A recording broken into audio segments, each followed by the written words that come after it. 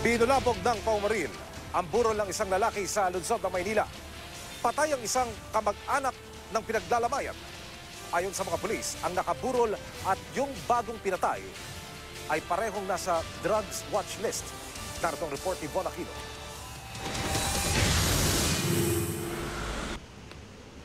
Sa bahaging ito ng Quezon Boulevard sa Sampaloc, Maynila, pinaglalamayan si Juanito Bafol na pinagbabaril noong lunes. Kasama ng biktimang si Bafol noon ang kapitbahay niyang tanod na si Reynaldo Kagiwa na napatay din sa paumaril. Dumating sa burol ang dalawang lalaking sakay na motorsiklo. Pinagbabaril at napatay naman nila ang kaanak ng biktima na si Joel Aquino. Nagpulasa ng mga tao at agad na tumakas ang mga suspek. Ang mga upuang ito may bakas pa ng mga tama ng bala.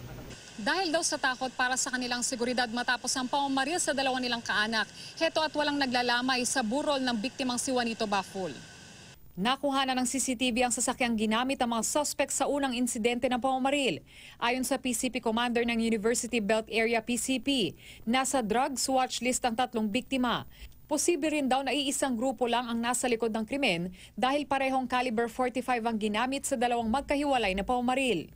So maaaring ito ay may kinalaman din sa bentahan nila sa pinagbabawal na droga. So baka maaaring nagkaroon ng uh, onsehan, kaya nagkaroon ng uh, ganong ah, sitwasyon. Pero giit ng kinakasama ni Kagiwa, tumigil na raw ito sa paggamit ng droga. Nadamay lang po siya, ma'am. A mistaken identity po. Um, yun ang sinasabi nila na mistaken identity rin, identity, pero base naman sa kwan nila, parang sila yung target talaga. Kasi binalik-balikan pa sila eh. Oh, para ba- para bang bago bago talagang binaril is talagang kinonfirm. Ah, oh, kasi ap- apat na beses umikot yung ban eh.